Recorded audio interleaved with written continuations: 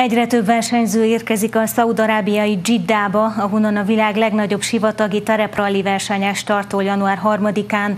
Ezúttal is lesz kinek szurkolnia az erdélyi sportkedvelőknek, hiszen a 2021-es Dakaron is indul a szatmánémeti motoros, Gyenes Emánuel, akit a szervezők Dakar legendaként mutatnak be a honlapjukon.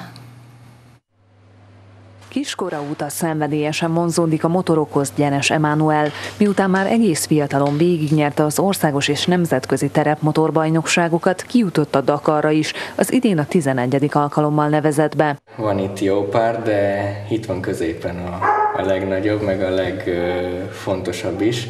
Ez az idei a 2020-as Szaudarábiában, amit sikerült ö, ö, megszerezni a Málemotor kategória első helyezetével.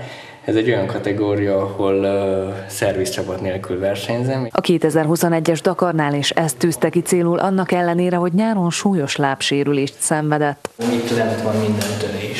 Itt van a sípcsontom is eltérve, itt a szárkapocs itt lent, és a bokámba a legfontosabb.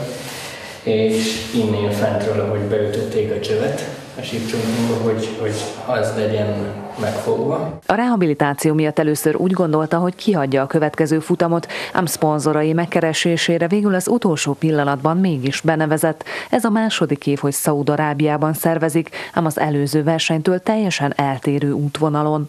Most egy nagy kör lesz, tehát Jeddahból lesz a rajt, és ugyanoda fogunk visszajönni.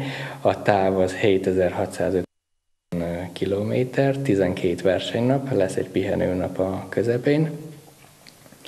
Én úgy gondolom, hogy az első hét az, az egy kicsivel jobb lesz. Mondjuk annyi, hogy több homok lesz, mint a második részbe, de viszont a, az időjárás az jobb, mert itt lent melegebb van, éjszaka nincs olyan hideg. Gyenes Emmanuel tegnap versenyzőket szállító különgéppel érkezett Dzsiddába, ahol koronavírus tesztet kellett végeznie. A 48 órás karantén után ezt újra megismétlik, hogy a versenyzők a legnagyobb biztonságban állhassanak rajthoz január 3-án.